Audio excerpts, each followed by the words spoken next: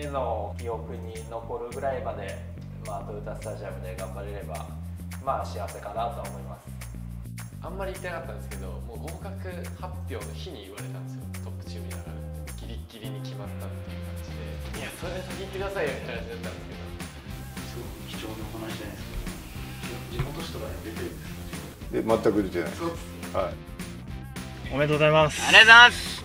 ここ3週間ぐらいずーっともうドキドキドキドキしながら過ごしてて森保さんの口がもう「そ」の「お」の口になってて まさかと思ったら呼んでくれて。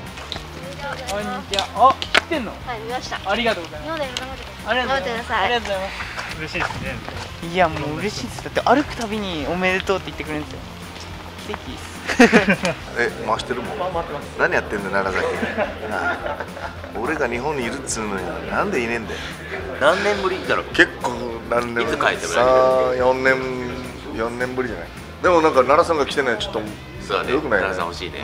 カメラマンで来てほしかったんそうだけどあしたらよかったよな。面白かったなんでお前が来てんのよ。奈良さんこそそれ簡単サビが一番むずいでしょ。サビが一番むずいでしょ。サビが一番むずいお前厳しいぞこれ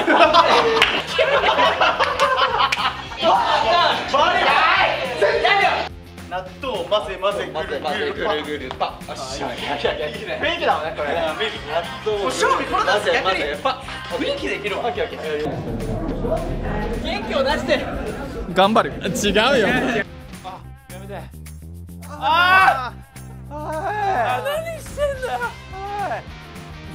絶対カメラにしてるわ。いつもそうだよねここいつもそうだよだけど絶対ダメ。マテウス狙って